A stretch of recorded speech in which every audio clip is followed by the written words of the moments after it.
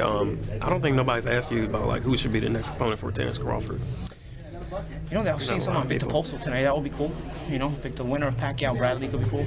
Um, and uh, um, I don't know. You know, him and Bradley are close friends. You know, Are they? Yeah. Very a lot of close money friends. sometimes changes that. Yeah, but yeah, yeah. you know, uh, Victor Postol will be interesting. You know, uh, Victor Postol's making some made a name for himself. Uh, it would be interesting. Uh, a, a lanky, tall guy. You know, uh, Eastern European, but you know he came comes to LA a lot to train, so he's not totally Eastern European. He's got a little bit of American style to him. It'd be a good fight. I think it'd be an interesting fight. Me and my friend right here, we was also talking about uh, Spence and Algieri.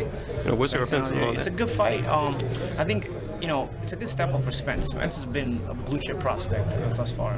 We want to see him seven stepped up because when you the thing when you step up, we already know you got the skills. When you step up, the character gets exposed because now you run into some road bumps where you got to dig deep a couple times. You know, and uh, Chris is just the right opponent for that to show us what Spence has in. Uh, in the ticker, so to speak. You know, uh, not this, not saying that he's a quitter or anything, but these are because you know. But you need to go through these kind of fights to build your character. They check you because you, you find out things about yourself that you don't know sometimes. Um, and I think Algieri's that kind of opponent. You know, Algieri is a, a rugged dude. He's a very mentally strong fighter.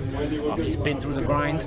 Um, he's a good body puncher, as is Spence. I think it's a good fight. I think it's a good fight, and um, I think it's a, a long time coming for Spence. Through the years, uh, he gets this kind of fight uh, on a national stage against a solid world-ranked opponent, uh, opponent that people know is world class, and uh, an opponent that, for me, a guy like Algieri, he's getting better and better since he got with John David Jackson. Exactly. That's not the guy that be providing the call, and that's not the guy that fought Manny Pacquiao. Since he got with And John David that world Jackson, experience, that is a very, very different about four a fighter with a minutes. very, with a much more rugged approach. You know, Chris is always a cutie in Terrence, so to speak, uh, for lack of a better term. You know, like a little tou- touchy, go, touch. He's become, he still has those kind of skills, but he's also become a rugged dude where, who has who has belief in his ability to get in the mud and get dirty if he has to. You know, and his belief to his body punching. And so I think he's improving. I think Spence is obviously the blue chip prospect, so I think it makes it a good fight. Do you still favor Spence? Yeah, you got to favor Spence, but Algieri's at home, and he don't want to lose in front of the home crowd either. So oh. it's a good fight.